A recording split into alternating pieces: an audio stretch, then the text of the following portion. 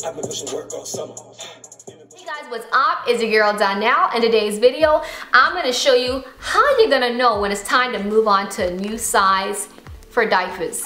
Um, I'm to be reviewing or using this diaper right here. This is the Parents' Choice, the new and improved Walmart brand, and I'm gonna kind of show you how you're gonna tell using this diaper right here. Look, if you're new here, go ahead and hit the subscribe button and turn on your notifications so you don't miss out on more videos just like this one. But let me show you, seriously, I love this. Like I, I've never tried Parents' Choice diapers before. I've always gone and used their training pants with my daughter. But trying their diapers has been like, this is a great thing.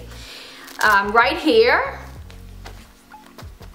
you can see it right here. It says next size. So on both sides of your diaper, on both tabs, it shows you next size. That means when you put the tape on your diaper for your little one, if it reaches within this range, it's time to move up. It's too small.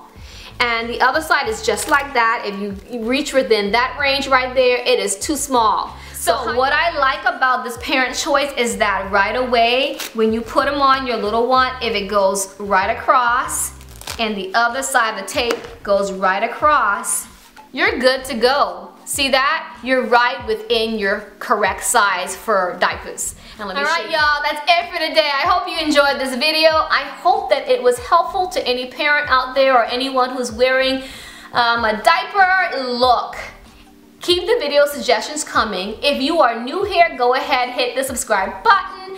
Turn on your notifications so you don't miss out on more videos just like this one. And until next time, mwah, mwah, mwah, mwah. Ciao.